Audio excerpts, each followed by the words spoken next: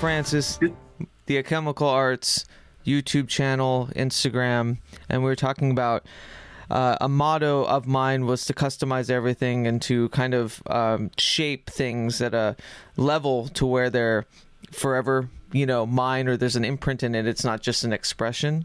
That it's like something uh, in its base or in its trade that would be kind of a, a, signature in a way. And that's why I've been so mesmerized by your videos, is that you've from an artistic standpoint, like you're going straight into the baseline of creating your own colors, which I rarely see. And I rarely see anybody give it that much forethought or interest or devote so much of the time kind of learning the processes of, I think, what we as artists or especially visual artists take advantage of all the time.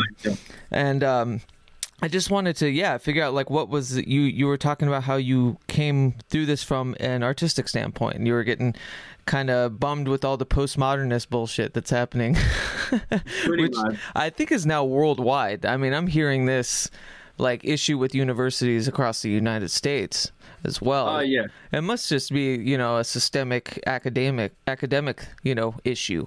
I think these days. Oh, absolutely. The art schools have, like in Britain, Australia, and the US, have just degraded into nonsense. Right. Essentially, if you go to Europe, there's still really amazing like technical art schools that teach you age-old traditions and stuff like that. Mhm. And I think in the US you have ateliers Mhm. that still teach craft. Um, but here we in Australia we almost have nothing where you, you can go and actually learn the nuts and bolts of being a craftsperson and an artist. Right. All intellectual with technique as a secondary. Yeah. Yeah, I'm And- definitely struggling with this. I was always too quick to express and not really understanding the theoretical stuff of what I was doing. And I think, you know, magic and the occult has really kind of reshaped my view, especially in the artistic process, of just how intentful every little piece is, you know. And you you came into creating these pigments and stuff just by the natural need to get down to the nitty gritty. Well, my obsession has always been with whenever I get into something, I have to understand how it works on a fundamental level. So, like when I was a musician, um, in the not too distant past, I got really obsessed with sound recording and techniques there. And then I started building my own guitar pedals and learning like all the circuitry and the electronics Sure. associated with that because I just wanted to make weird sounds Yeah, yeah. and to manipulate sound. And that's why I've responded really well to your album Oh, thanks. because I was like, I could see the consideration to the textural quality of sound, hmm and and that's always been an obsession of mine. And I think the same applies to art. It's like a textural, vis- visceral sort of thing that I need to. Yeah, I need to get as deep in and get your hands dirty with things and really learn what the hell's going on here. hmm And then I think more. So for me, the occult, uh, alchemical side of things is a newer development. It's something that's only sort of arisen in the last 12 to 18 months. And it's actually given me focus because for years and years and years, my obsession with being an artist was I want to learn how to do things before I learn to speak, if that makes sense. Sure. I don't want to have. So I used to always have this gripe with my lecturers, and I'd be like, you would never go and see a surgeon who only had a theoretical understanding of surgery. Right. You just you wouldn't want that. Yeah. You, you know, you want you want your doctors to have some physicality to what they do, and and to actually know their skills. And it's like, why do we expect an artist to be able to just go out there and make art without having any understanding of their skill set and Right. what they're doing? Actually, labored through the process of learning because learning is hard. hmm Yeah, and the uh, the academic system does not make it any easier. I was wondering if you had any insight as to like some alternative avenues for, say, you know, folks that can't really break into the academic forums when it comes to this sort of thing. because this is the thing I'm troubling with. I'm having trouble with too at this juncture in my life is wanting to learn more, but feeling the resources kind of evaporate more and more as I get older. But also, uh, an abundance of them spring up elsewhere, so it's hard to delineate which ones I should be um, considering. You know, when there's such an influx of like Skillshare.com or all these other things. And uh, you know, when we're talking about the issue with the academic or uh, university, you know, and the postmodernism, and then it having its own kind of political uh, stance, like where does one seek now? Where does one, you know, attune? Books. Yeah, right. Books, Going back to uh, basics, right? Uh, books are a great resource, and like I find the internet, if used well, Right. is incredibly useful resource. Like, I think that's one thing that a lot of people forget these days about the internet is it's like that thing's powerful, and we mm-hmm. can really use it to learn in in a in a way that we never could before, and at a rate that we couldn't. It's Yeah. just like you you want to know anything, you just find the relevant forum, you find the relevant experts, and you dive deep, and you can really just nut any problem out if you know how to ask the right question. And so, how are you um, finding? Like, what was your funnel into the source material for? You know, I was I was noticing that in one of the YouTube videos that you had mentioned, you were using a manuscript from like 1908, and I was wondering, like, is there some buzzwords or are there some like uh, singular focuses that you know you're looking for when you're going for these old al- alchemical manuals? Well, so for the actual pigment making, I'm not referring to any alchemical texts. Oh, cool. Because they don't necessarily deal with that sort of stuff right. explicitly. Um, back in the day, if you went back to, you know, sometime between like the 12th century to about, you know, the 15th century, alchemists would have had a role in providing materials for artists, for sure, because there were a lot of processes that were necessary. And alchemists often ended up as like a jack of all trades sort of person. Right. So they were either medicine people or they were metal workers or pigment makers and that sort of stuff. So there's definitely been a historical relationship between the alchemist and the artist. But for the actual practical, um, like information about producing pigments and stuff, um, it's early chemistry essentially. Like, and I'm not a chemist in by any standard. Um, Full disclosure. yeah, I, I have a good understanding of chemistry, Right. but I've never had any formal training. Um, it just started with making fireworks Sure. in, in yeah. the that sort of thing. The anarchist cookbook, that sort of thing. Uh, no, more just. Um, Just I just remember one day my dad was trying to make some black powder with my little brother, Mhm. and they weren't doing very good at it. And I was like, I'll give that a go. I'll show you guys how it's done. And then I just went and. Re- so you've always had a natural Yeah. inclination for it. Yes, I think I've always because I grew up with punk parents, so I've always had the do-it-yourself punk attitude going on. So I love it. Just where it. Yeah. So what uh, Um, what brought you into like I mean it's pretty it, it gets to an obvious point, right? With, especially with an alchemy and you stumble into the micro and macro and you start thinking about as above so below and all this shit starts to kind of feed into each other and make sense.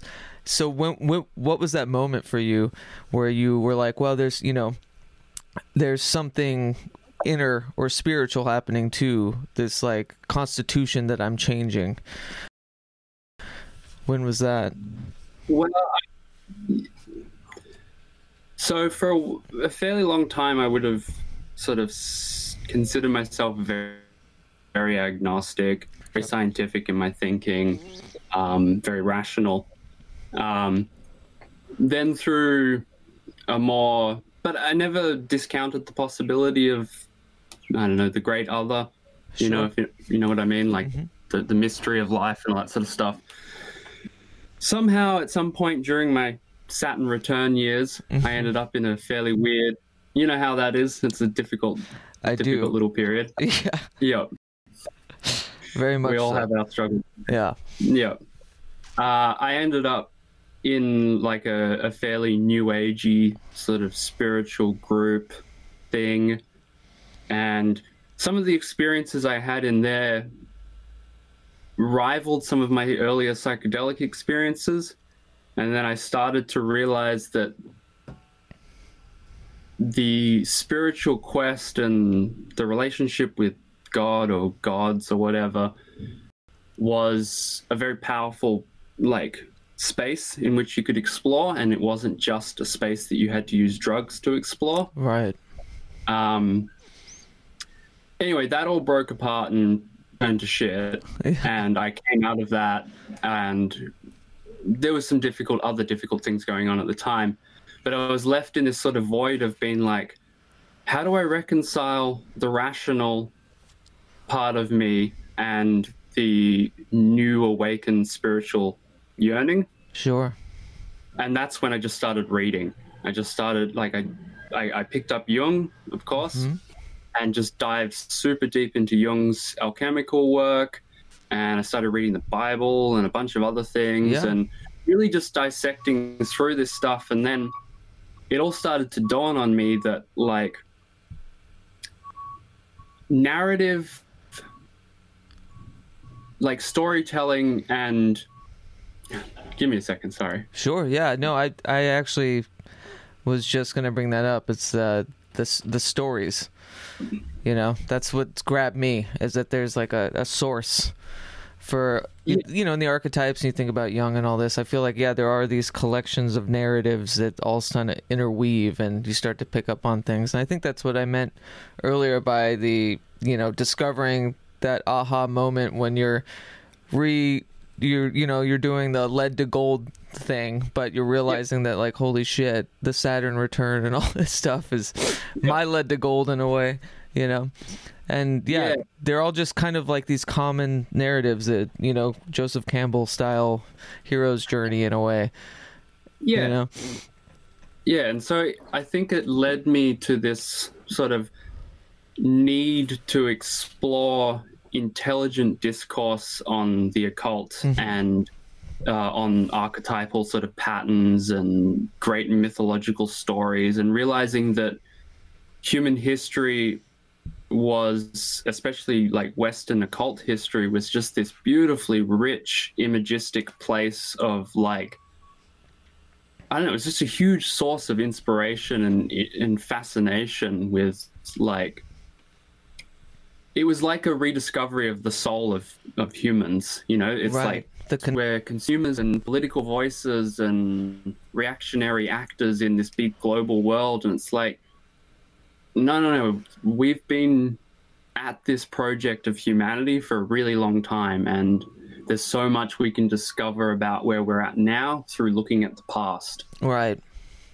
and Yeah, Yeah. I was just going to bring that up too, thinking about, you know, I wanted to know if pharmacology has come into your purview at all, especially, you know, it's it's the writings on the wall with that when it can change your mental constitution, you know, physically, but it's also like this insane, I don't know, um, alien kind of moment, you know, of changing your your well-being, your status, for good or for bad. And I wanted to know if you, as someone that messes with elements in the way that you do, have you ever, do you experiment or do you, uh, what's your take on pharmacology?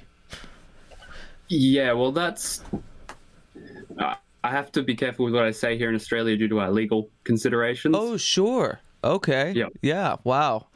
Look at me. I'm Uh, shooting from the hip over here. yeah yeah but um, I apologize. said- yeah. Yeah. just prior to diving back into art, I took a bit of a foray into um, doing a lot of work with um, in, entheogenic plants, Sure. cultivating and um, breeding and playing around with growing mushrooms and all Sure. of those fun things. So yeah, I I've done a fair bit of dabbling in that sort of world. Yeah, I Um, think I was talking more because you had made mention of that earlier. That like you could reach these moments or these these ideas without the help of uh, those sort of you know states.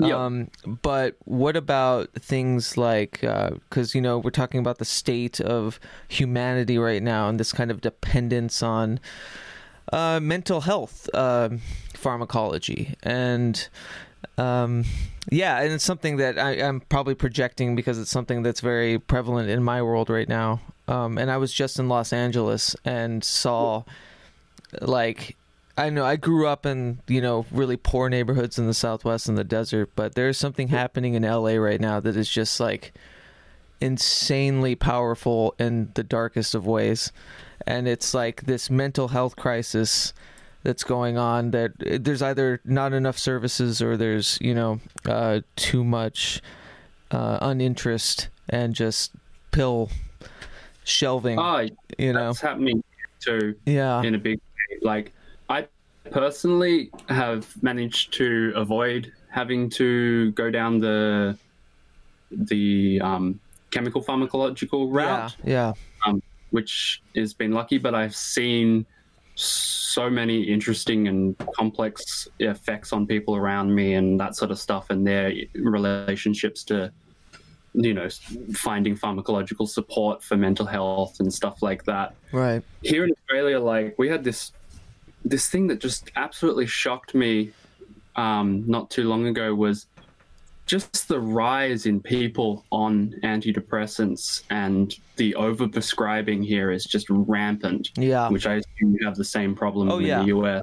absolutely And we're unfortunately currently in the process of degrading our social services here. oh So we used to have a really good social security network that, um, as difficult as it is to interact with, it was still there, and you could get financial support and medical support and all that sort of stuff. And we're slowly privatizing and moving towards a more American model hmm and away from that British model that we used too to have. bad is that from is it uh, more of a like a libertarian leaning parliament in that sense is it Oh no, we have a very conservative government. conservative yeah.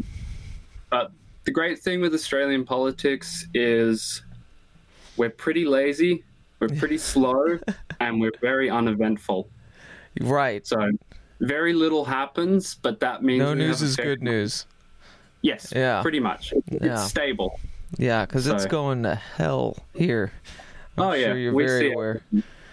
Yeah, Mhm. I mean, and then, you know, I'm in a bubble too. Um, like I said, I you know just yeah, I went and saw. I met Derek Hunter uh, Yeah. down in L.A. and we were seeing friends and family in other areas where you know, kind of the ritzy sides.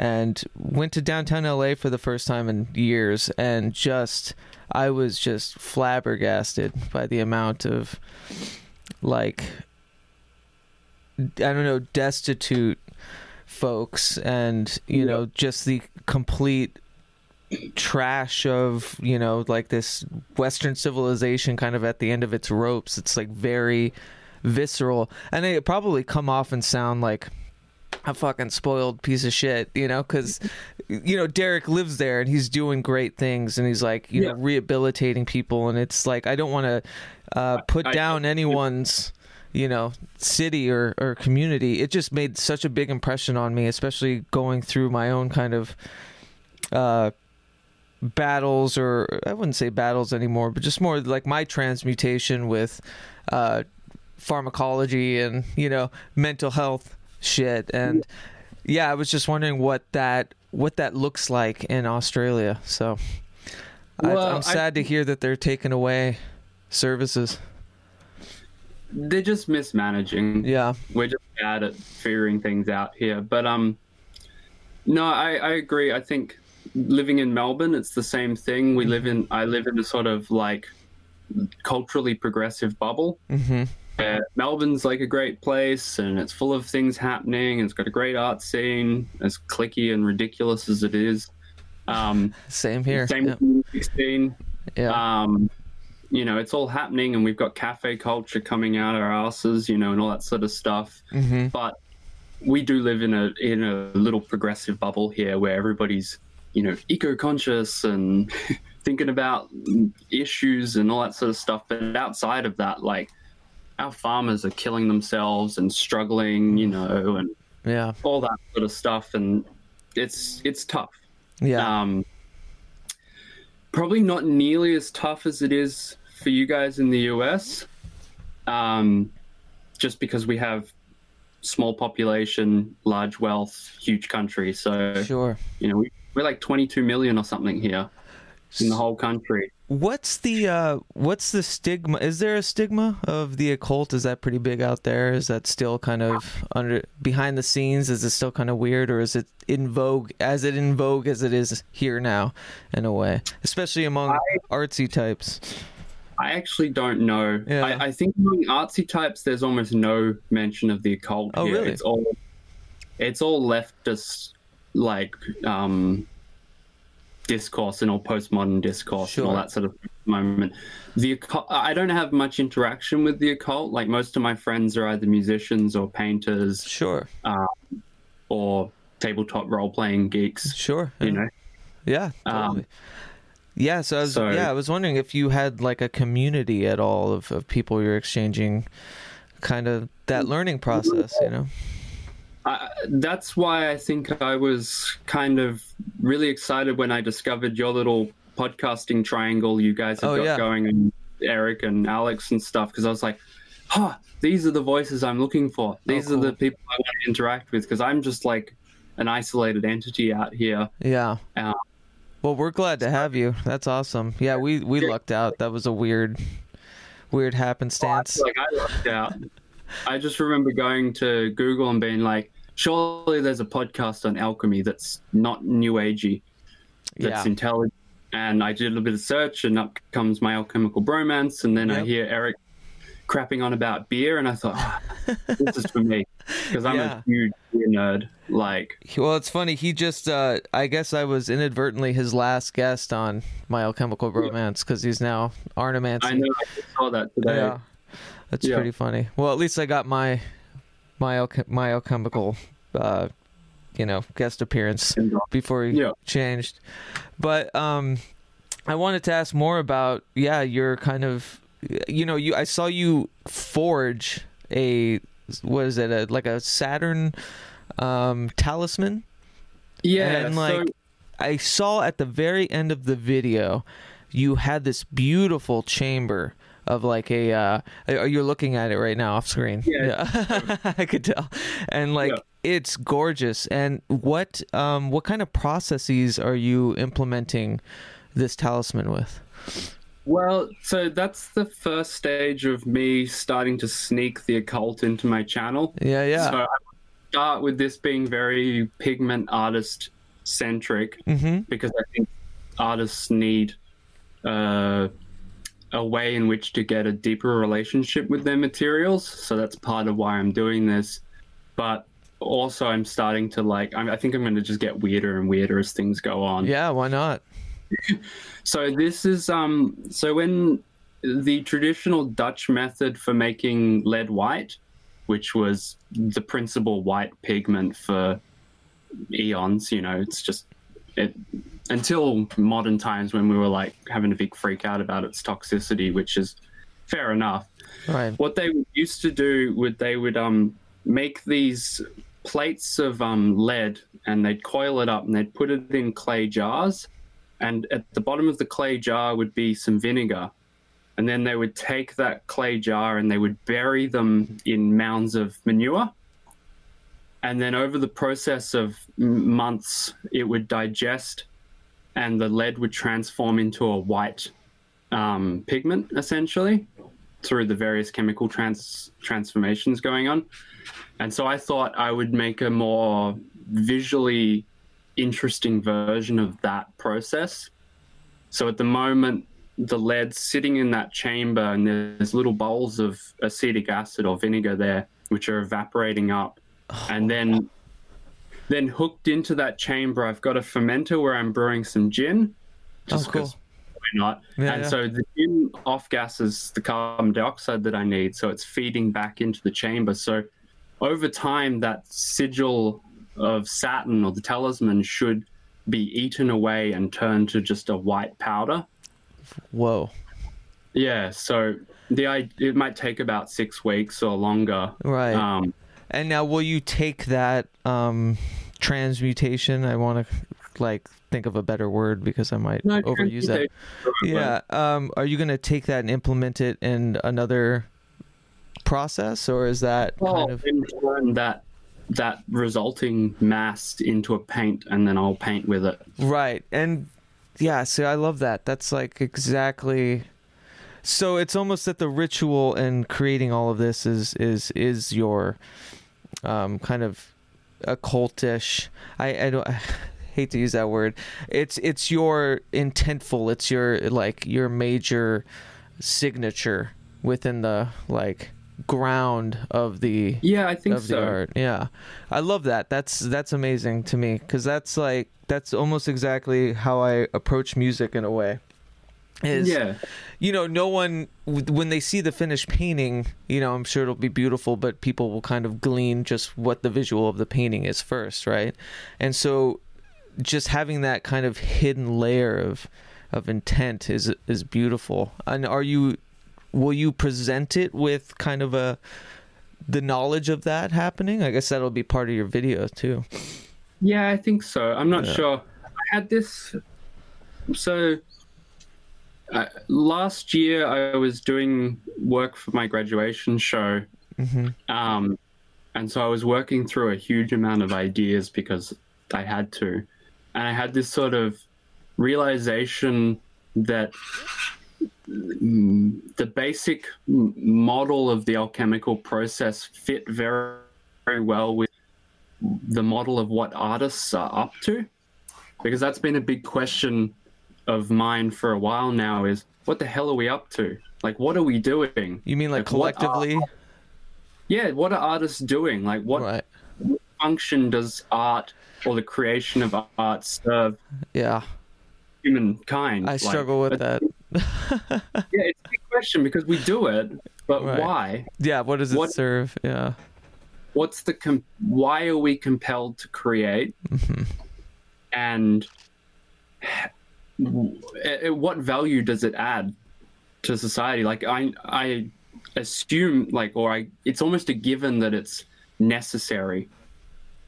Like art is a necessary requirement of humans. Right. um but that doesn't answer the question and i don't think you can answer the question anytime I ask this question when I'm having those like huge, you know, pivotal doubts about, you know, what what the hell any of this means, everyone's like, "Oh no, there's going to always be a place for art." And I'm always asking like, "But yeah, but like why? Like what? Is it just to entertain? Is it just to is it escapist, you know? Is it is it to document? Like I almost feel that I need to ingest uh, a trade or learn something. So when the big one hits i'm not just left to talk about how it, the big one affects me through my art. You know what i mean? So i love the idea of implementing you know just this the craft. It's a craft right? And like if you're like what is what do you think your kind of what is your goal then uh with what what would you like to do upcoming with the processes that you've implemented Yeah, well, that's a that's tough Yeah. because I, I actually um I have loosely defined goals. mm-hmm. I have short term like practical goals, but ultimately, I don't know what the hell I'm doing. sure I'm yeah getting into the great unknown, and that's great. Um, yeah I think ultimately it's I, I got fed up with the political situation that we're in at the moment that everybody's fighting everybody as a political voice Mhm. and I figured there's no point entertaining that argument anymore. The only thing that I can do is bring wonderment back into the world. I, I want to like try and facilitate those moments of awe and engagement and like yeah wonderment. Wonderment's the best word i've got because i like that. for me the, the good like the great art that i experience or interact with is the one that fills me with awe. Yeah, absolutely. It moves me, you know, and it's that feeling moved by a piece of art that makes it makes things worth living for. Mm-hmm. You know, and so we're not going to solve our political issues by yelling at each other or having discourse and like there will always be a need for that there's always politics but we will you know we can improve the quality of people's lives through instilling things that genuinely move them and however we can strive to do that i feel is a valuable cause Yeah, I like that because I think that's what keeps me coming back is, you know, just flesh out the passion and like just, you know, uh, suspend the suspension, if that makes any sense. Yeah. Yeah. And like you getting back into, I think you showcasing the process, like it is a bit of that because that's what I think that's what I'd like to do is just kind of celebrate the journey more instead of just you know what the what the outcome is because there I don't necess- I don't have an outcome. It's not you know it's not that cut Yeah. and dry, and I don't think it should be. I think I think there's a place for pretension, and I think you know now uh, it's almost needed because in and of itself, it's you know you're you're intending so much when it Yeah. comes to art, and I think the lack of it is in and of itself kind of pretentious. But that gentle medium of, you know, uh, showcasing the like life documented within making something is almost more important than what is being made. You know. Yeah it's a balancing act Yeah. between those things um as with everything Sure. Yeah. Yeah. Yeah. I, I think just the- I get struggled a lot with because I, I I can go the other route too. I'll get really obsessed with the minutia. You know, really Yep. obsessed with the assemblage in a way, and I could I can lose myself in that. And it's yeah, that's my struggle. it's like finding Oh, yeah. that Yeah. that rhythm. i'm really bad at finishing Oh yeah. works. Yeah. I'm great at like starting, I'm great at the early initial exploration and obsession. hmm But then six months in of any obsession, I usually jump ship to the next one. Yeah.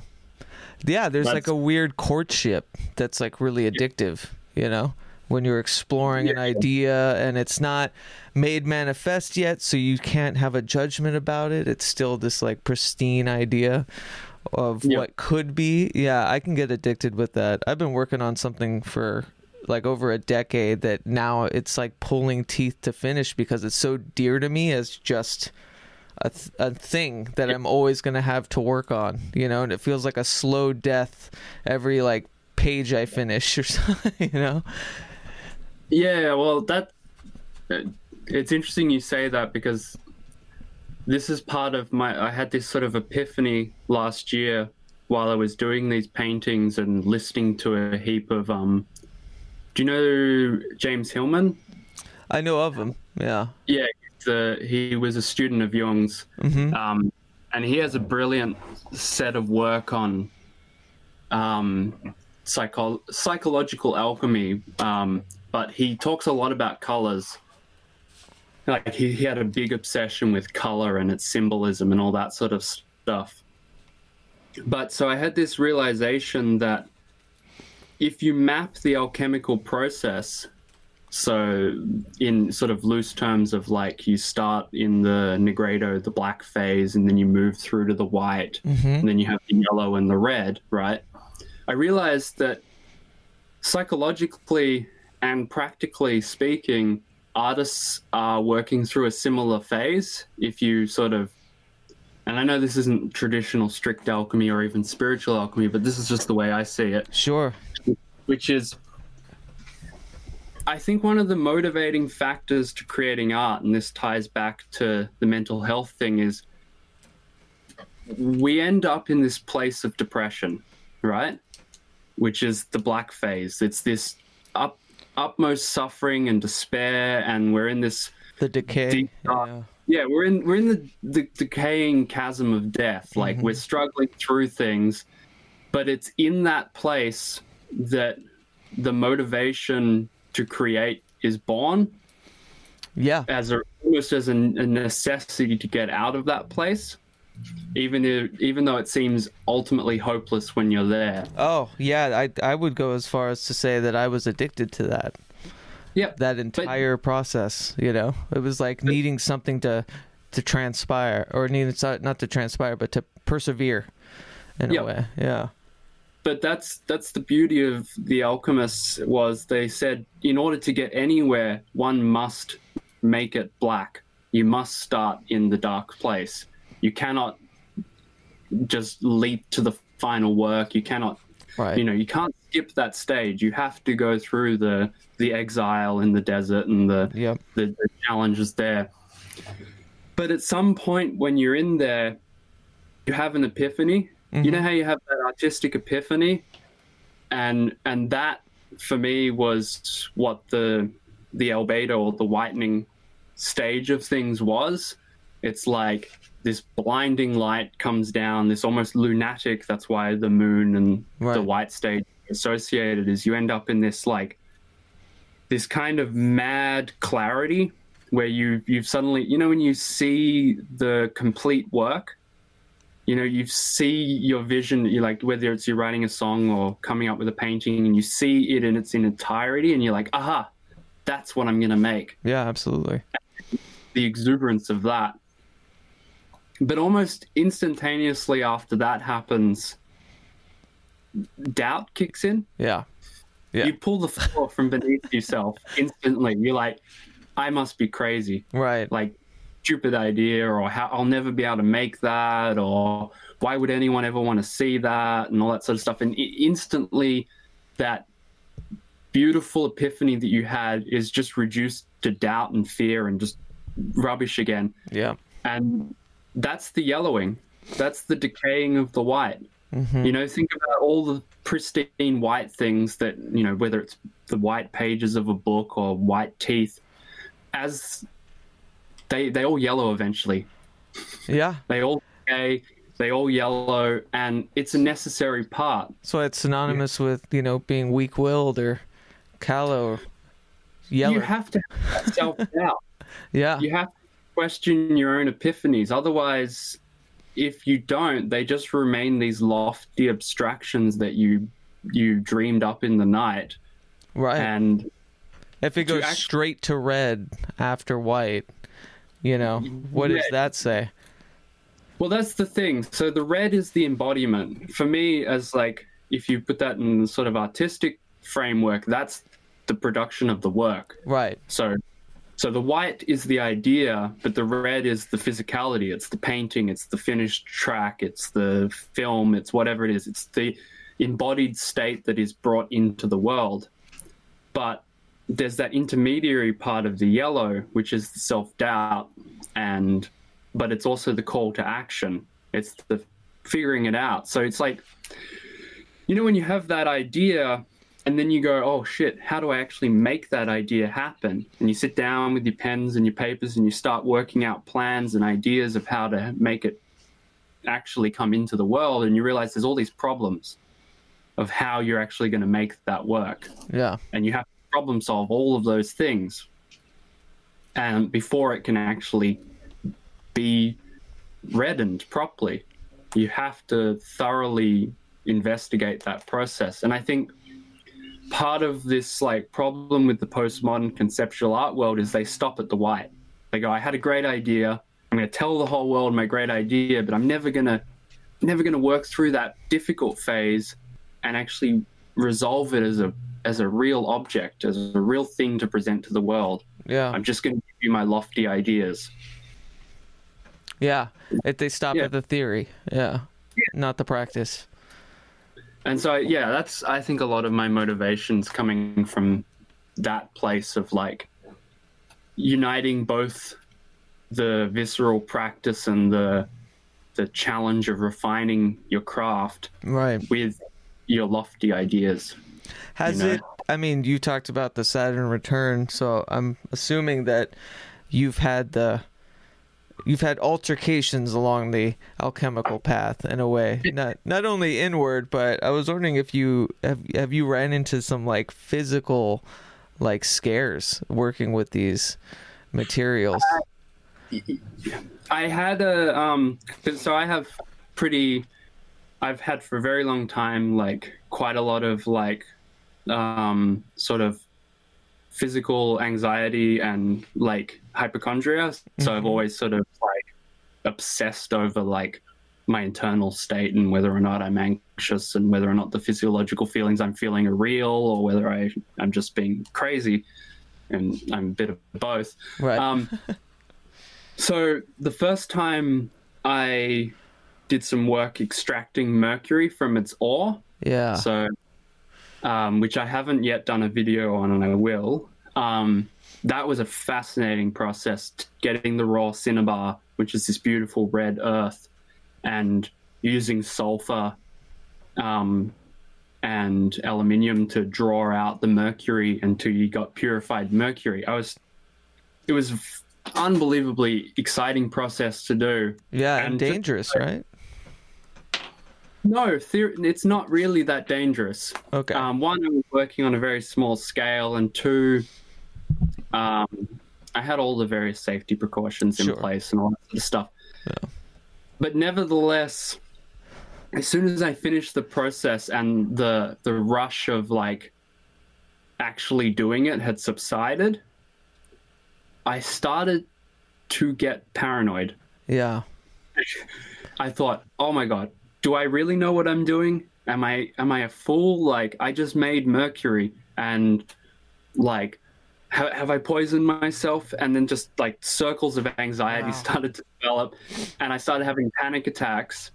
Um, and I spent two days having these horrific panic attacks and like feeling really dizzy and lightheaded and just completely like, oh my god, what have I done to myself? I'm an absolute fool um, which was, I think, the necessary madness Yeah. that the alcohol goes through with mercury.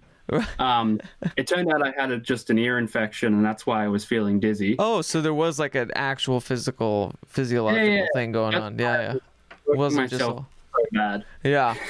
That's funny. Um, Go but ahead. it was great. It was really funny in hindsight. I was like, oh, I'm such a, I'm so crazy. I'm such a nutter. What a relief, you know? It was a, it was a relief to realize I was just plain old crazy, not Right. mercury crazy. Neurotic, not psychopathic. Yeah. Yeah. Yeah, it reminds me. I had a uh, I had a similar thing. It's funny how these episodes, like these almost like spiritual awakening awakenings, always kind of happen in conjunction with something that's probably pretty explainable. You know, Yeah. like I uh, I was part of this uh, voodoo ritual once, and it was like I I realized later that I had just kind of quit my uh like all my meds and stuff pretty cold turkey and didn't think much of it. Did this voodoo ritual that was like insane to me and like completely just earth shattering and I got really sick because I didn't ground myself well or something after this ritual. But it could be explained away as this you know physiological detox almost of of Oh, yeah. all the but at the same time every uh, major thing I have in my life that's like that could also probably be explained away in some physiological thing I don't, I don't know what that is or what uh, you know what my point is in bringing that up or, or noticing that synchronicity but no, it, it's funny you say things that could be explained away. mhm, Um, I've been noticing this this trend on some of the like alchemy Facebook groups and things like that, which I've sort of tried to interact with to see what's going on there. mhm, And there's this weird mis like mismatch between like people thinking that like science just explains things away sure. or thinking that like unhinged new age thinking is the only way to approach things. And Right. it's like of course science can explain things away. Right. that's what it does. Yeah. It, it's a literalization of the world. It's like there's this i think james hillman brings up this great moment. He's like there was no such thing as litter until descartes. He's like descartes invented dead matter. Before that the world was ensouled and full of things and you knew the world through its qualities and its stories and its narratives and its archetypes. Right. And and it's like yeah okay science can explain things away, but science should be viewed as like a razor sharp scalpel. It's a good tool, it's a useful tool. Right. It, it's only a tool. Yeah. Story that we overlay on top of that, that that exists in our like psyche or our conscious experience, that's just as much a true reality as the like quantitative um, scientific reality.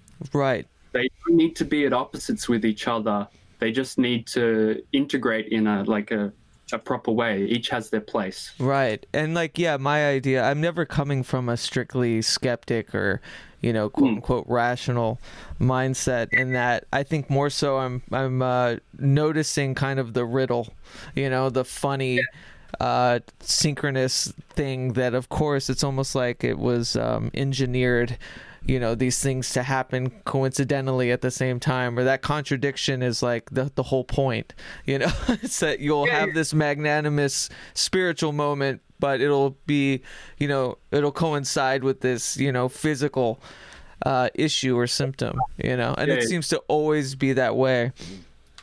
But yeah I, I get what you're saying. I wonder um how i guess this would come back into a little bit about uh, what we were talking about earlier, you know, with the colleges and all that. But I do see uh, this this there's this need to be overly rational or this overtly uh, skeptical, and like you were saying, there's also this you know people are saying to go full woo with things, you know, and without. I was talking to somebody recently, and it seems the problem is is the more you get to learn these things, the more you study and the more you uh, notice these certain things. None of it is, you know, obvious. None of it is explainable either way all the time, right? And I was wondering if you've had um, situations in your life and on on your road where it shattered kind of your uh, rational thinking or your woo thinking either way. Hmm. Yeah. I have to think about that. Yeah, we can circle back. I know it's kind of a loaded question. Yeah, but but in terms of that that balancing act between being overly rational or you know so open that all ideas are fair game, Right. Like I was having this argument with a friend of mine the other day who's way more rational than I am. Like he's a lawyer and all that sort of stuff. Sure. and he was he made some scoff remark about how like the bible presents a good like practical manual for wrestling angels in terms of jacob wrestling the angel and he's like it's so ridiculous and i'm like i instantly sort of stepped in and was just like there's no way people saw that well, not necessarily no way, but I highly doubt that people saw Jacob wrestling with the angel as a manual on how to wrestle an angel. Right. right. It's Literal. yeah. it's a metaphor because if you think about when you interact with an angel, which is a higher principle, you wrestle with a higher principle. Yeah. Like you don't you don't just like enter the space of angels and get illuminated and have a great time. It's no, that's a hard place to enter. Yeah. Yeah. you know you, you know what it's like to wrestle with these these higher ideals or these spiritual moments they're they're never pleasant journeys even if they're full of euphoria they're still challenging Oh yeah. Absolutely. that's why jacob's in the desert when he's wrestling the angel it's like no Right. he's in the way you know This is the conflict. This is the uh the like the apex.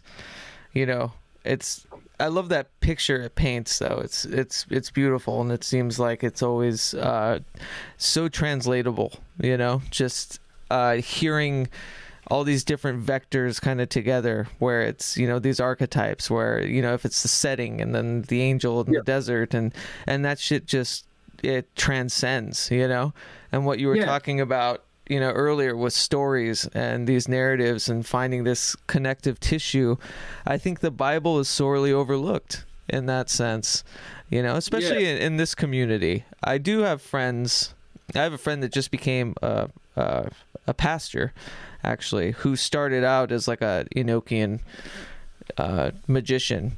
So he kind of he went extreme to it, but I'm seeing think- a, a bit of a, a a reverence, I think, for the alchemical side of you know what the biblical story is, you know, little Well, by if you- little.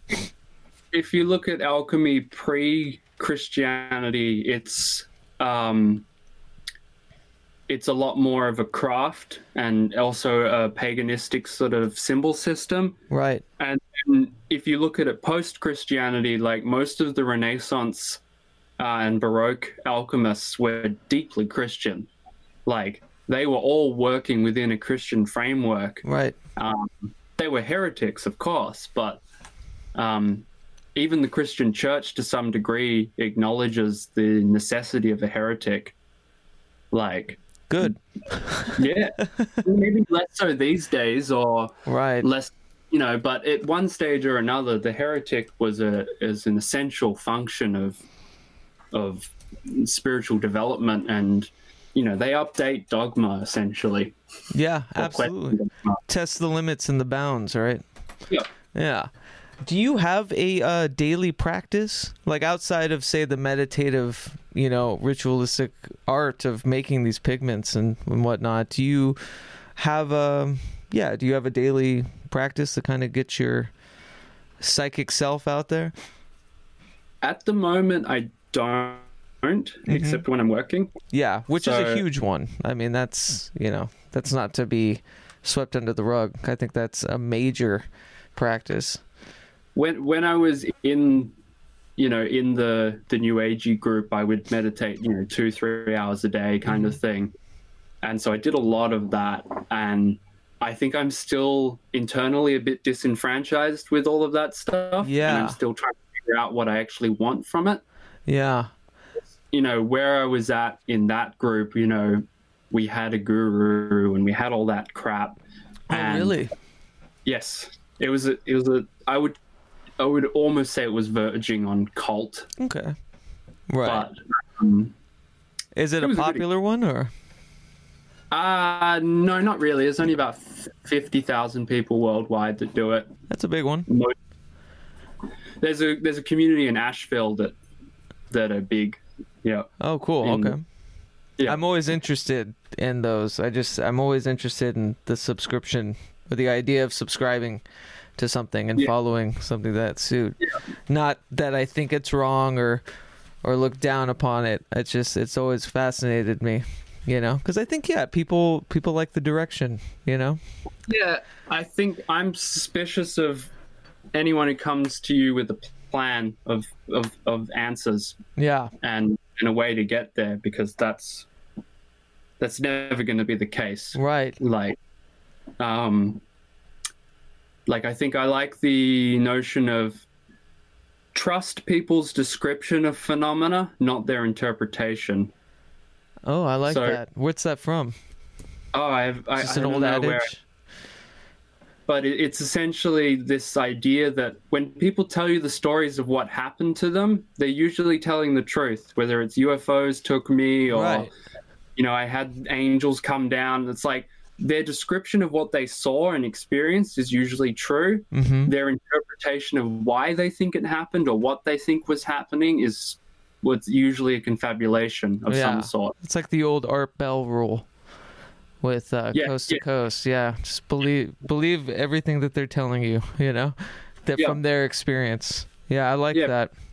I think there's a lot of beauty in that, and I think I don't know. Recently, uh, this has come up a lot because I have friends that are kind of writing texts and are verging into areas of uh, struggling with their knowledge of agnosticism or like the you know um, uh, the the idea of everything being agnostic. You know, the kind of um, what you would call it.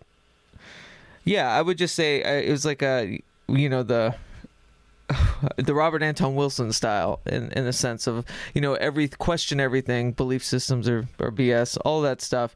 And yet they're writing these uh, materials in this faction knowing this and having a terrible time not trying to come off as uh, directorial or like ordering or giving people an answer and having Yeah. to tell people that you know this is what worked for me this is this is my experience and i've had i've had friends like really struggling with this because i feel that this is the hard part in this uh, area of the you know the occult or alchemy is that people want quick answers and they want to be you know told quickly how to service something or get something within themselves. And they don't want to hear most of the time the true answer which is you know it whatever works for you kind of you know it's not there's no blanket idea of how to get there.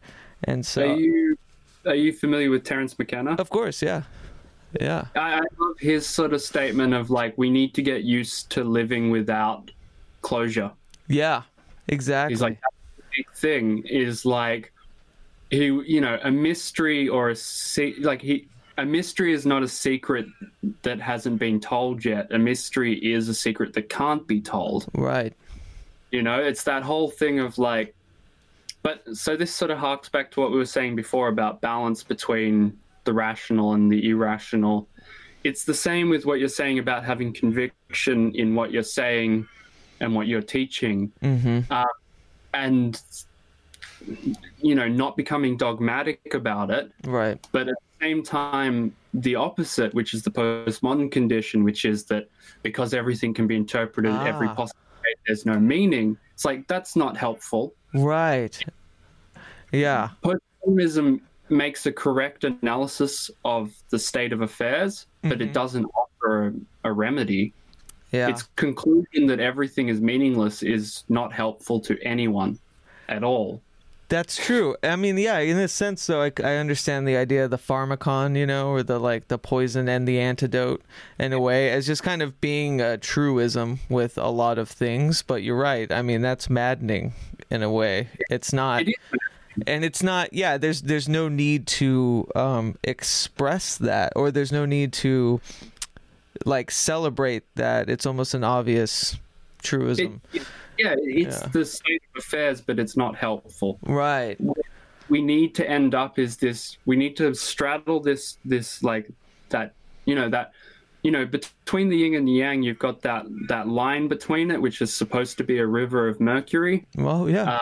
Uh, we have to straddle that balance between order and chaos or you know in terms of like academic or teaching or learning as you was talking about with friends of yours struggling it's this process where you don't want to be too reductive with Right. what you're doing and this is the definition of how things are and you don't want to be too um, open about it and say well this is my interpretation but you may have a different response and we can't be entirely certain because then you end up in a sea of chaos yeah. Where and you're not too- really saying much then because there's not Yeah. yeah then if everything's just left to inter- interpretation there's nothing really being said in a way. Yeah you need to have a foot in both camps of Yeah. order and chaos.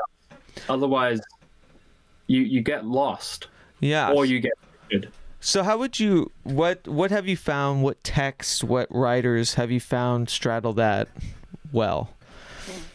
Um, well, I as I said, I really like Terence McKenna. Yeah. I think like as crazy as he is, oh i love it whole time wave thing was a complete 2012. That was that was nutty, and he knew it. well That- yeah i guess in a way though like i've definitely had a major transmutation in 2012 but that's anecdotal you know Well, no, I think we had a technological shift. yeah Like the internet exploded around that time. Social media exploded. There was, in a way, an end of history. right yeah It wasn't completely off.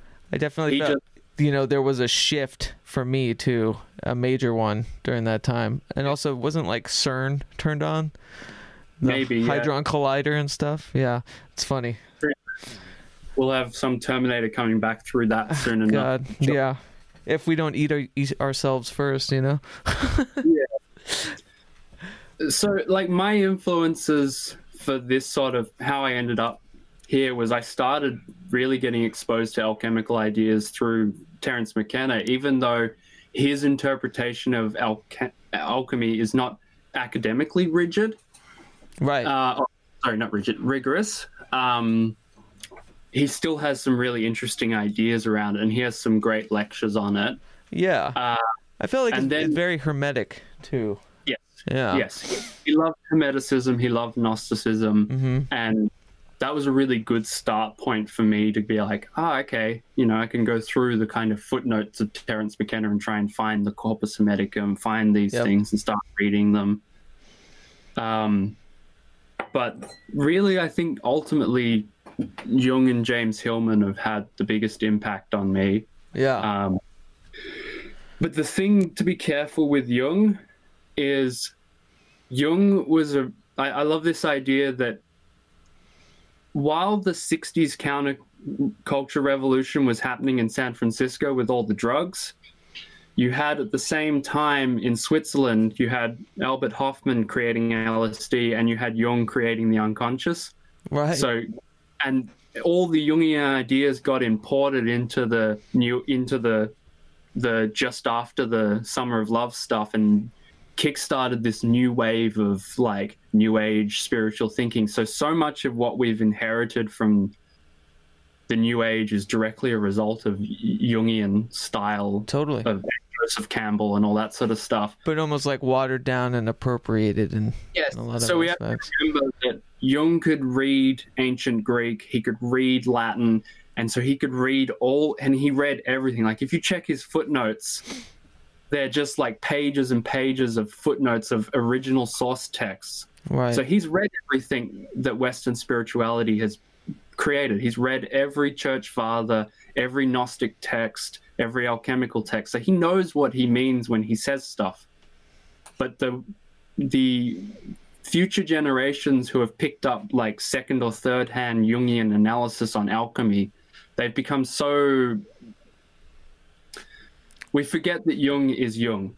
right. You know, that- it's coming through it. a funnel. Yeah. Yeah. And so I read his stuff, and as much as I love his stuff, I know that that's not his interpretation, is not entirely what the alchemists were actually up to. Mm-hmm. He's just amalgamated it for his purpose to fit within his world model. Right.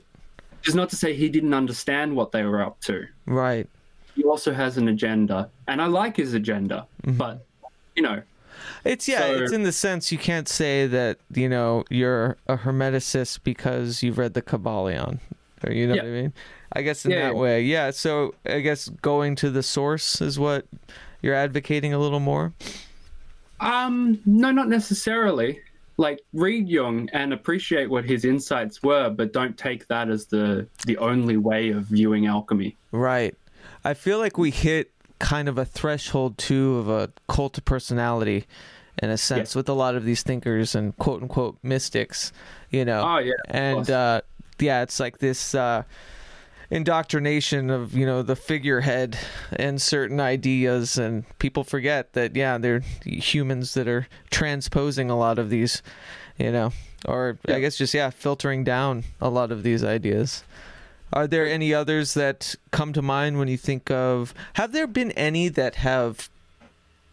I don't want to like cast shade, you know, but have there been any, maybe even modern thinkers, writers that you feel are kind of setting us back a little bit in in these functions? oh, I don't, I don't know. That's Yeah. the problem because I might, yeah, that was kind of a a push because yeah, I'd rather not. I don't know, be negative. I just mean to say if they're to kind of paint a picture of what the limits are. You know what I mean? in specifically in terms of alchemical thinking, Alchemical thinking. Yeah, yeah, I really don't know what people want from alchemy at the moment. Sure. Like it's coming back, but Mhm. a lot of my experience, and not to be too negative to these people because I'm also interacting with them, but like right, right. A lot of the experience I've had online with through the Reddit sub alchemy Reddit and like you know the Facebook pages and stuff like that is either people are purely interested in spiritual alchemy Right. or there's a few very strange individuals who think that they can literally produce the stone still. Oh, really? know. yeah, yeah, Yeah. Or they say And- they do. Yeah.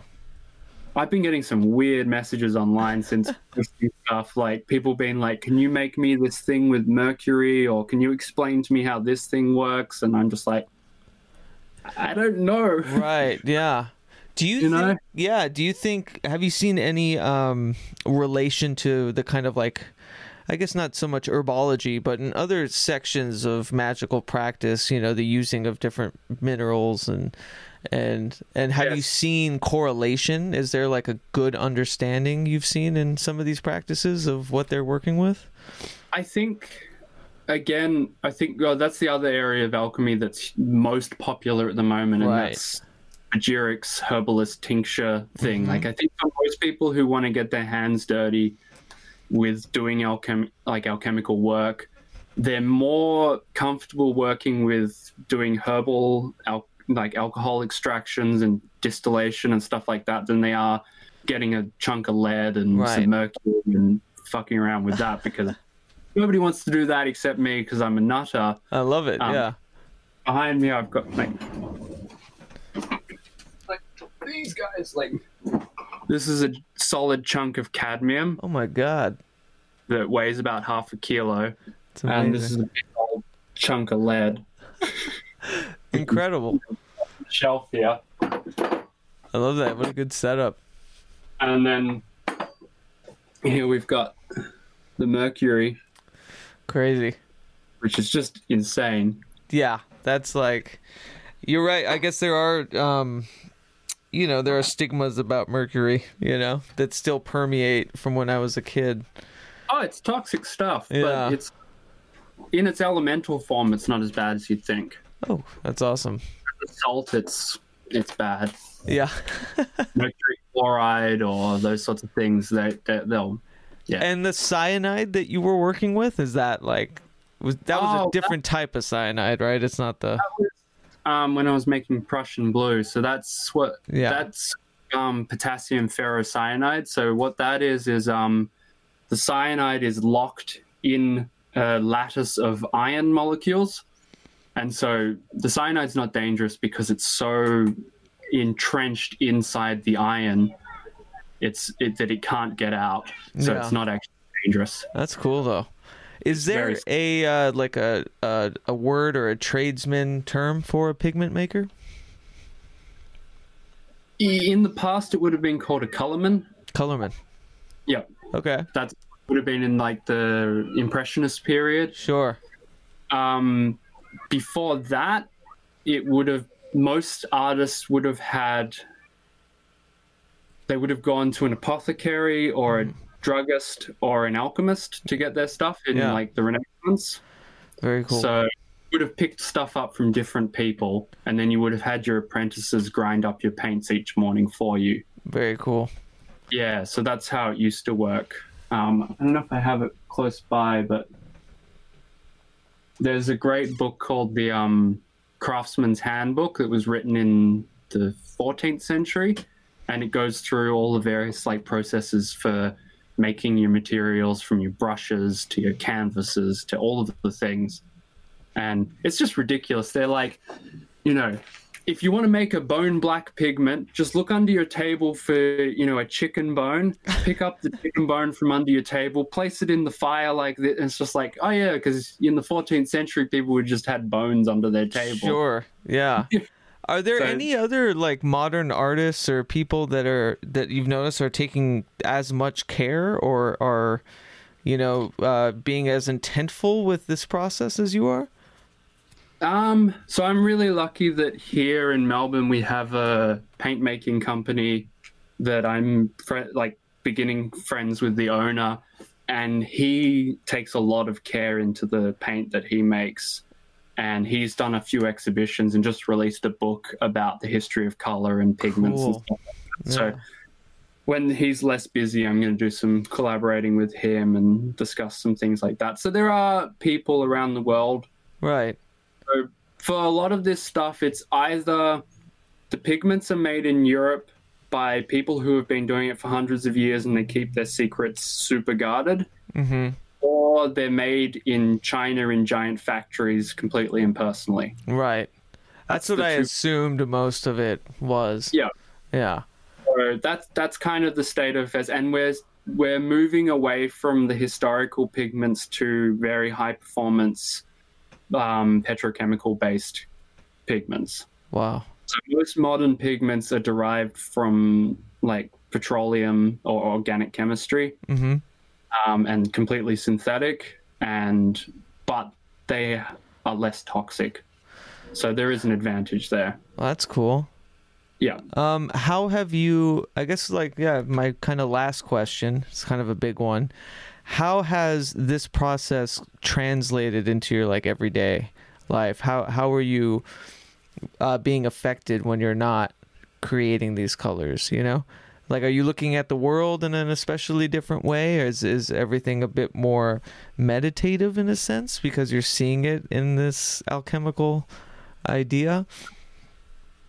I've always looked super intently at the world in terms of its colors. Yeah. Been a long obsession of mine. That's uh, as you you asked before, like what are my goals with this, and like part of it is to really bring people into that deeper relationship to color and its symbolism, because I think as the world has modernized, we have way more color in it than we ever had before, and we're oversaturated. Like I get, yeah, actually, no. The thing that's really changed for me is actually a negative reaction, not a positive reaction, which is I am, I'm noticing how bombarded we are by color as we walk around, like magazine covers and posters and TV screens and neon lights. It's just like, like constantly in your face hyper color too. Like right. nature doesn't necessarily produce color in the tones that modern plastic world has and so it's it's actually i'm trying to figure out how to because we've become desensitized to color. Because we used to know the world through color. Like and i think that was another great alchemical dictum is like a change of color is a change of essential nature. Mm-hmm. so you know when when you look at a human's skin we know the health and the condition they're in based on the color of like how it is. You know are you yellowing? Are you pale? Are you overly red? Like you can tell the health of someone through the color. You tell in nature whether something is dangerous or attractive through color. Right. like it's a super important psychological mechanism for navigating the world. But now that and and like we used to color our objects in ways that was meaningful if that makes sense like the reason something was colored a particular way had symbolic in, implications Sure. now we now your garden chair is uh, bright green or bright blue or you know your whisk why is your like you know your, or your cooking utensils why are they bright yellow or red or blue or you know Sure. there's no there's no reason or method to it it's just like plastic things can be whatever color you want as bright as you want yeah. I feel that we've become really desensitized to the potential relationship we can have with color because we're just bombarded It's also And- like psychological tactics, right? And color coding and you know Oh my the God. fast food shit with yellow and red and uh, inciting hunger and and yeah, it gets it gets creepy in that sense. And I guess yeah, it's something that I've I've always kind of noticed that maybe there there is an intent to color things, but it's kind of nefarious in its way to do Oh, so. manipulative. Yeah. it's hugely manipulative Yeah. of uh, like because I, I i really think that like color symbolism is one of the oldest forms of symbolism that we have because as i said it's how we knew the world like you know it's almost i would say it predates our relationship to like star symbolism like you know mapping of astrological symbolism and stuff like that because you know, even in like before in primate form, like think about how all the animals know the world through their interaction with the colors of things. right. And so when advertisers use color to manipulate us, they're hitting us on very deep old circuits in the brain. And we aren't capable of registering the fact that we've been manipulated by color. Yeah. how I guess uh, sorry, I'm gonna ask you one more question because it, just any question you incited me. Um, in a lot of the psychedelic or you know otherworldly uh, psychic spelunking that I've done, color has been a magnanimous source of notifying me of you know the the realms of the neither neither the strange you know areas I'm entering in and almost sometimes the lack of color and like these Yes. meditations I've I've done uh, this one that I've continued to do recently the you know the kabbalistic tree of life and the different spheres you know and, and each one really signified by a color now that I think of it or the absence of color you know? Um how it always kind of reminded me that you know uh, what we see in this somatic reality is is uh, this certain resolution and these agreed upon colors of this certain resolution of 2020 and you know the sky being Yeah. blue and all of that. Do you think that there's something to be said about you know these uh, trans-dimensional wayfaring uh, is something as easy as kind of changing the color of how you see things or do you think there's a big correlation or something that you know kind of simple when it comes to kind of shocking us out of this shared somatic thing as you know color? You so you sort of talking about how this the hyperdimensional space is hyperdimensionally colored yes and and and And I guess Yeah. even so, yeah, because even um, I guess a textbook, like when I had started meditating deeply, um, I would see you know these purple tetrahedrons and Yeah. and then you, I'd go on to find and have that corroborated that you know oh people have seen these and stuff and I just I want to know if like if you think that color is universal in that sense that it's you know it's always signifying i guess yeah do you get what i'm trying to say? That like Yeah, yeah. it- yeah it's it's somatic almost transdimensionally in a way. It's shared you know? Yeah, so there was a um, study done in the 60s on color terms Mhm. through all languages and cultures. And so they did an analysis of as many languages as they could find, both ancient and current, for the terms that they had for colors. And they found that if a language, because not all languages have terms for all colors necessarily in the way that we use in English, for example. So if a language had any terms at all for color, it would all the first two that they would have that was universal among all languages was light and dark. They Ah. always had that differentiation. If they had a third term for color, it was always red, mm-hmm right? If they had a fourth term for color, it was um, either yellow or green. okay And if they had a fifth term, which some languages don't have a fifth term, it would be blue. So there is this universal progression among humans to differentiate between light and dark Yeah. and develop symbolic relationships to light and dark. Just think about all spirituality and esoteric thinking is all about lightness or darkness and so forth. Then we have red, which is obvious because of the sun, because of blood, because of the earth. Like it's it's a universal state and symbol system as well. And then blue, uh, sorry, yellow green again is another universal. So I think color symbology and states of that relationship between, as you said, somatic experiences of color, I think they are like archetypal in that sense. Yeah. And I think like different languages deal with color in different ways, you know, like I think English is one of the stranger languages in the sense that we have terms for colors that are abstracted. So we have like things like teal sure. or you know mauve and it's like those aren't real things. Whereas like if you go to other languages they'll have like they won't have a term like brown. They'll have like bird shit brown right. you know or like tree bark for things? Yeah so Yeah. they their descriptions of colors are what things are actually of that color right as opposed to you know we sit here and we talk about yellowness it's like what kind of yellow are we Right. talking about the golden, beautiful yellow of daisies or the sun, or are we talking about putrefied flesh Right. or pus? You know, pus yellow is disturbing in comparison to, you know, the beautiful golden yellow of the sun. You're right. you There know. is a gradient of interpretation, an extreme gradient of interpretation, I guess. Too. You almost can't talk about color without relating it to a physical object. Right.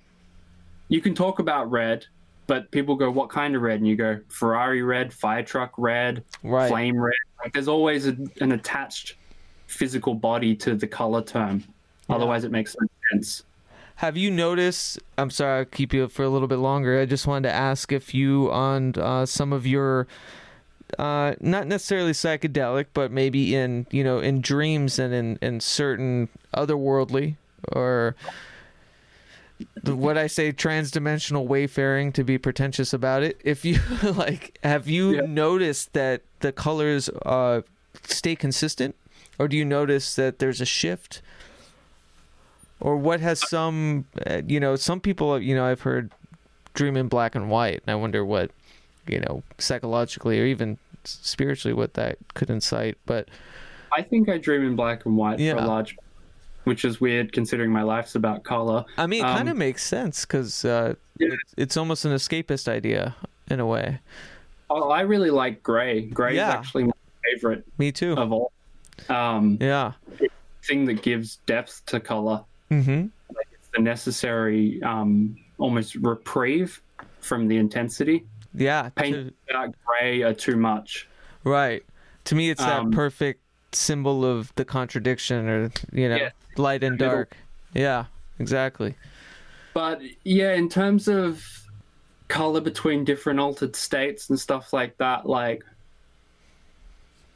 I have experienced reasonable amounts of sort of colorful experiences, but I, I I'm not sure whether there's necessarily coherency across the board with them. right Um, my most vivid recollection was I was. This is a weird digression, but so I was per- perched on the precipice of this waterfall, like just a little waterfall um, in a river, mm-hmm. and so sitting in in the water with like one foot was calm water and the other side was all turbid water, and I was tripping. Mm-hmm. And I remember just closing my eyes, and there was just an infinite amount of um, caterpillars, both you know, like blue and yellow caterpillars, flowing into each other. And the sound of the water led to these these caterpillars were just clapping with joy as Yeah. they were morphing into each other. But I've never seen a more vivid blue or more vivid yellow in my whole life than that that experience of being literally between order and chaos and having this like parade of caterpillars cheering me on. Are they And- uh, complete opposites in the uh, color spectrum? Is there a significance to the blue and yellow? You think? They're not actually Yeah. complete. Like I mean, I Um, kind of I knew that, but I just meant like, is it, yeah? It was there I don't know significance? why, Yeah. I- I- okay. But it was fascinating to watch. yeah, that's cool. Super Yeah. cool. Because I know, like in the experiences I've had, there's a, a commonality between a shift in tone when Yeah. I've hit those states. It's almost you know I get Yeah. sepia toned on a certain thing, and on another thing it's it's more of a blue, you know, analog think- versus digital kind of weird. Yeah, I think now that you mention it, I can start to like I'm getting these sort of memories coming back where it's like, yeah, there are definite shifts in hue. Yeah. That place. I couldn't tell you the exact qualities of them, but Yeah. as the emotional states fluctuate, the hues fluctuate. Yeah, it's just it's always fascinating with for me because I remember as a kid reading Carlos Castaneda, and he talks about, and one of the teaching Don Juan, and I know that uh, since then it's been kind of controversial because I don't I don't know how much of it was actually true, but he talks about uh, the devil's weed, and if you smoke it, you see one of two colors, and either the your atmosphere shifts red and you die immediately or it shifts like black into darkness and you enter this void. And that always i always thought was kind of synonymous not to that extreme obviously but of a lot of you know shifts in consciousness it was always color signified in a way yeah Yeah, no, it's good. You just got me on a color switch. I love it. Yeah, well, that, that, that's the point. And I, I'm constantly probing people around me and being like, "What do you think of this color? Like, Yeah. tell me what it does to you." Because, you know, and people always, like, you know, as a kid, you always got to ask that question, like, "What's your favorite color?" You know, and Totally. it's like, whoa, you know, that's that's a big question. I can tell you that gray is not a popular answer. you like Yeah. gray? Yeah. I used to get that all the time. Yeah, yeah. But uh, yeah, man, I thank you so much, Jeremy. So good to meet you. Finally. Yeah, likewise. I, I, as I said, like when I discovered you guys, like online, and just started listening and just thinking, gee, there's this community of people who are willing to authentically discuss their experiences with this sort of stuff, and they have again that balance between being critical of the process and uh, critical thinking about what they're doing but also being open to the mystery. Oh yeah. it's like it's, that's what I I want more dialogue for people to have. Yeah. You know, I want people to to approach this sort of stuff with with their their intellect intact, but their heart sort of open to possibility. yeah. Because and so it was a real breath of fresh air. Well, thank you. Yeah, that means everything. I'm. It's it's definitely not something that was intended, but I think was just an absolute natural goal in a way. You know, got to just be honest with this shit. You know, who are we kidding? yeah, well, I really enjoy. Like, I was just listening, uh, I think yesterday, to your talk with um, Mitch Horowitz, hmm and I was like, when he was talking about the transparency thing online, The name. yeah, Yeah. and I was like, yeah, that's great. Like, that's a really good, good. Like, that was a good discussion on that sort of stuff, and the episode that you did with um, Alex and Aaron? on yeah on on on depression and mental health and all Yeah. that sort of stuff that was a really informative episode like yeah. i really liked that like the conclusion i, I really liked how much time you guys spent talking about snacking Yeah. It's- and i really like you can tell our the- age. You know, when that's our issue is snacking. yeah no my issue is snacking too and I, I agree that the the whatever's going to cure us will be some sort of donut shaped hole that we need filling you know yeah. Yeah. Like- totally. I only work a couple of days a week in the evenings, but every night after I finish work, I always get a couple of donuts and just go home, smoke a joint, and just cram donuts in my mouth till I feel better. Yeah, it's like it's the only thing I have left, you know. It's funny, it, and it's not that I'm like I was intentionally trying to quit so much, so many things or stop Yeah. smoking in a way. It's just been this, thank God, natural progression. But it's like I can't find solace easy anymore, Yeah. you know. And now it's I'm toning down, so that shift of like maybe I should just go get some ice cream. It's like no, I don't even fucking want that anymore. Like what do I have left, you know? It's frustrating because I'm I'm trying to like cut down like smoking so much pot every night, Yeah. video games, and Maybe I need video games. I think that's probably what it is. I need some sort of like outward exercise. And not just, you know, physical, but I mean just a, a complete displacement of myself would probably be good. Yeah. but yeah, that toning back of like consumption of um distracting mindsets, like getting high is great for generating new ideas, but ultimately it's also a good like distraction. Yeah. You know, give reprieve to just chill out and not have your brain just be on overload. Yeah, for me it's the opposite, but I would say that was kind of like what drinking has been for me. And that, you know, if I don't get high, I feel like I should be working. Yeah. yeah, so it's like an automatic shift to relaxation Yeah. Yeah, I like that. Relax. It's just like I don't know what to do. Yeah. I should be reading, should be doing academic things. I should be practicing. You know, it's just Yeah, like then the stress of productivity. Yeah.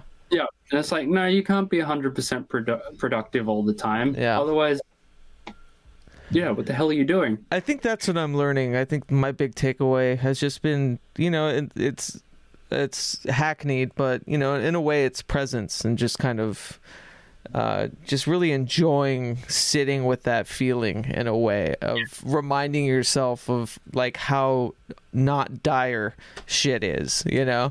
Like I need to do something with myself. It's like, it doesn't matter? No one gives a fuck. Chill out, you know? Yeah. in a way that's been my mantra is no one gives a fuck and it's just been calming, you know? yeah, I'm I'm I'm in the process of preparing to to, to enter that space of being comfortable with just being Yeah. as opposed to obsessed with doing. I think that's that's the surrender part. It's not even like you know what I mean? It's just like I give up. I give up fighting with myself. Like I'm always going to be the worst when it comes to myself. So, kind of yeah, it's humor in a way, you know? Laugh at it.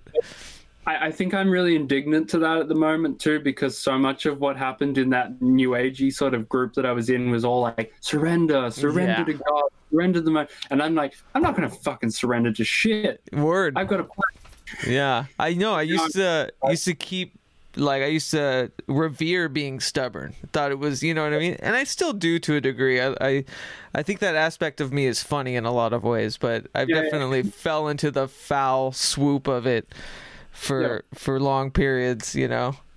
Of just that incessant "fuck you" quality that I have Yeah, to like myself and outside of you're not going to tell me what to do, but especially I'm not going to tell myself what to do. Yeah. But yeah, No, this has been good. I really enjoyed this. yeah. Thank you so much, man. It's great to meet you, and let's do this again. I mean, we, I feel like I've only hit the surface. Yeah, I feel like I like like just general nerves was harder to get the flow of conversation, but as we went on, it just became more natural and that sort of stuff, which I Yeah. enjoyed. Cool, man. And yeah, this Yeah. won't be the last time. Yeah, no, definitely. I'd love to come back and keep doing this. I also had some crazy ideas for the in the future. I'm wanting to do because I'm really into technology, um, as well as all of this archaic stuff, and I really want to get into uh, making VR versions of what I'm doing. But I want to bring the camera inside the experiments. So this, yeah, yeah.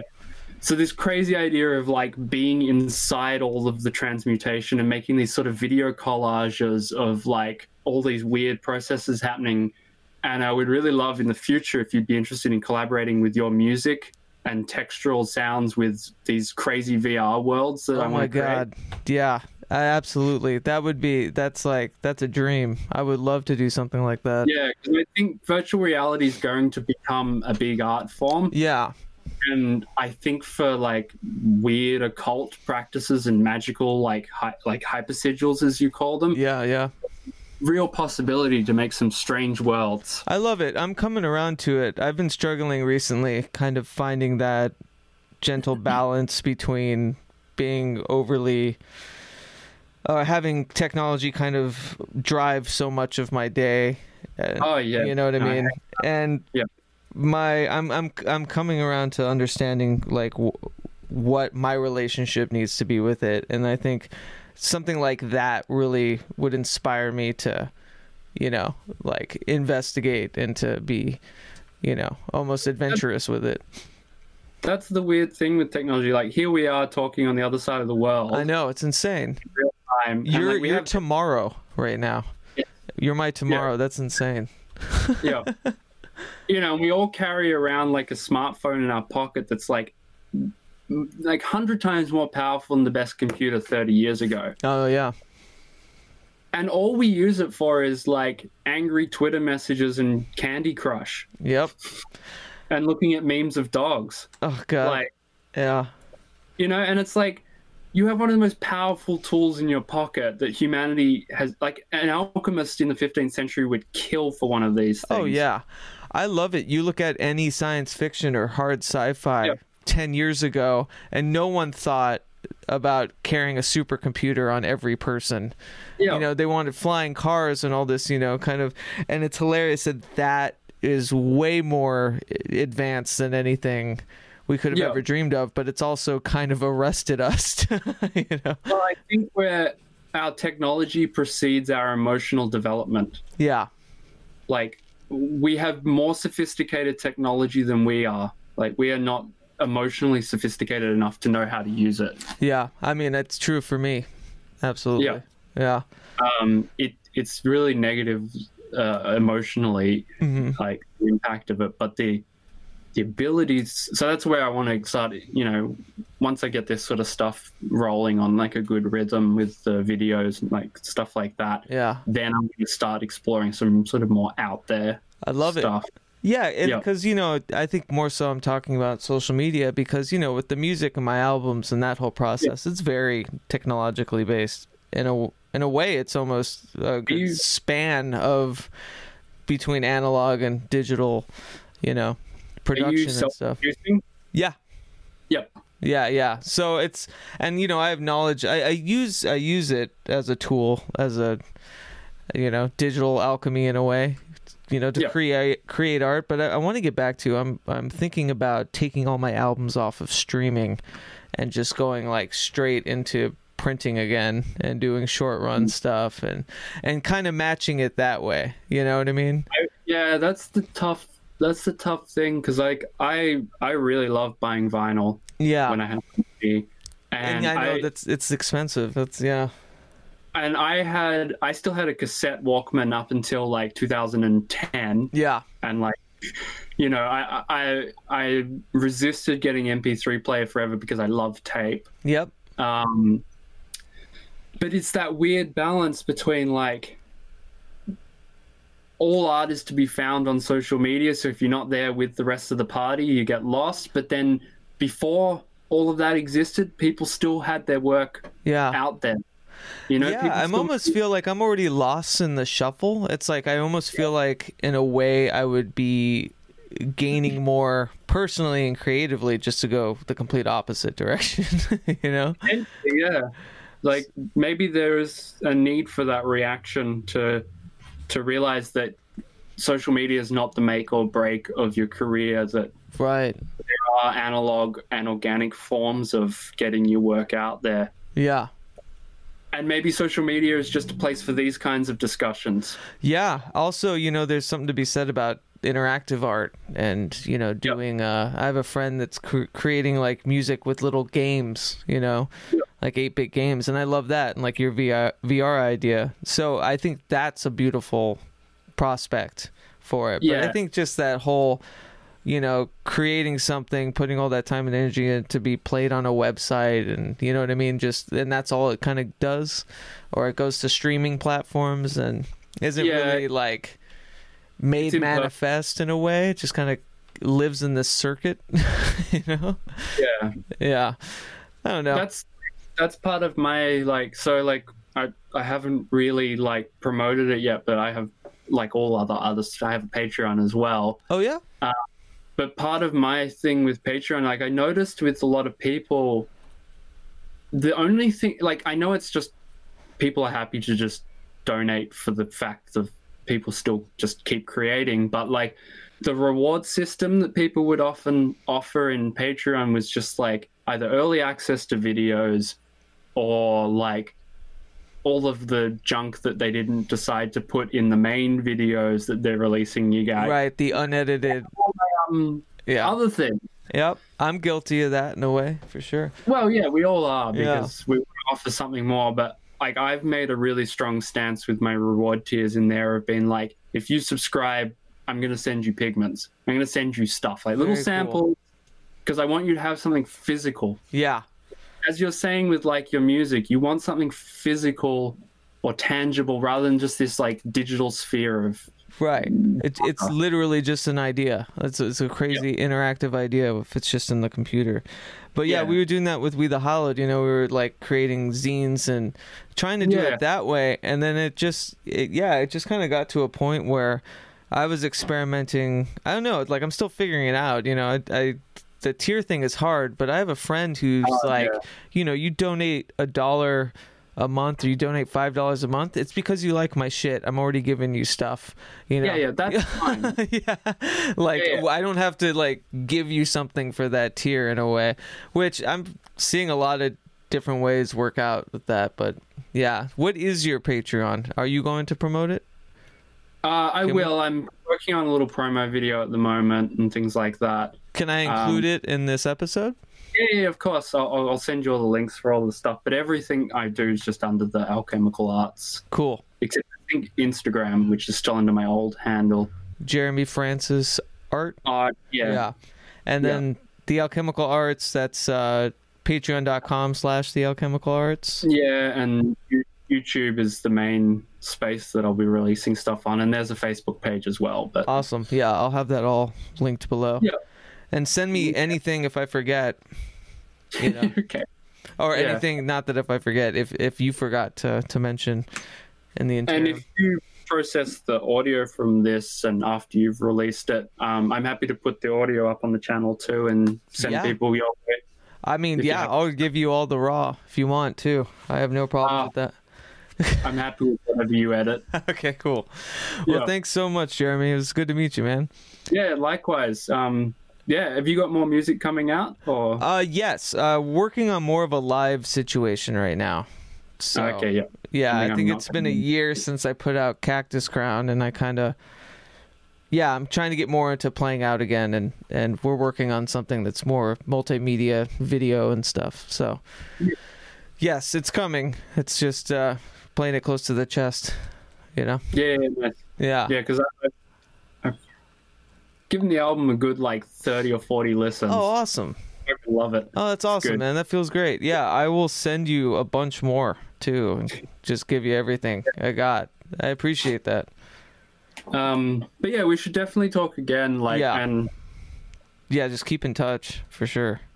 yeah, Yeah, and also I'd like to um with this I hope to put I do like little articles, you know, with each Pragmagick episode, but I think in this case I'd like to showcase the um YouTube page too. yeah, Yeah. yeah. And um, I was gonna say if any any in the future when I get a little bit more established, if any of the artists within your collective want like materials that are alchemically prepared, Yeah. I, I can I can work towards doing stuff like that. And if you want to post anything through We the Hallowed, like I will set you up yeah, to like- do that. Yeah. Yeah.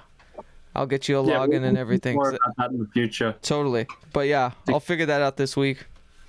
Sounds good. All right. Thanks, man. We'll right. have a good like full day, right? Yeah, I'm about to just get down to some work. I think. Cool. I've got. What am I working on here? This is some, like um, like a plant root that I've been digesting and fermenting for a few days to try and make like a crimson pigment. Cool. So Very cool. play around with that. Awesome, man. Well, have a good rest of your day. I'm gonna wind down. Yeah, good evening. Oh yeah. Have a good one. man.